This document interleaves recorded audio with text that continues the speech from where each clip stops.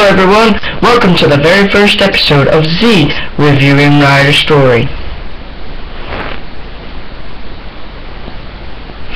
Alright, Bestie, uh, right, the Zack Ryder news this week is that, um, this past Friday night on SmackDown, he vs Fandango, uh, in a normal match on SmackDown, uh, but unfortunately, he lost.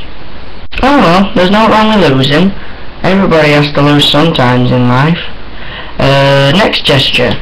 Let's talk about the new, uh, the new style that Ryder's got. Uh, let's talk about his hair, for example. He started growing it a little bit more. No spiked hair anymore. To be honest, I'm quite liking it. He looks very smart with it. Uh, he also said one time that uh, the uh, broski hair is gone.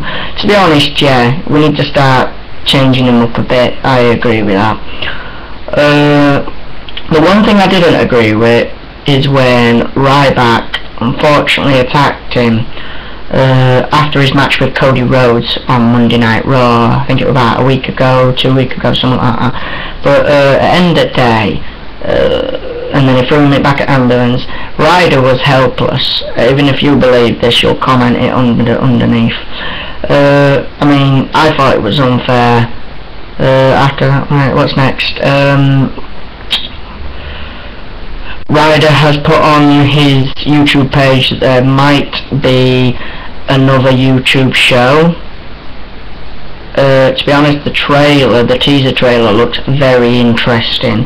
Uh, well, that's all the time we have for this week, folks. I hope you enjoyed the show. Don't forget to like this video, leave a comment.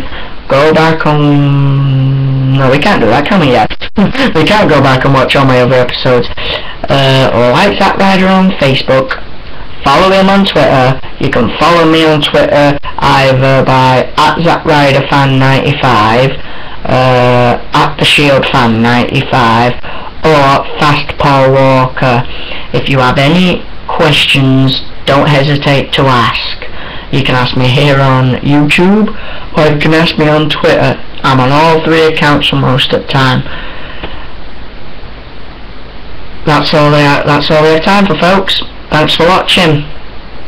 This oh by the way, this is the very first episode. So good night.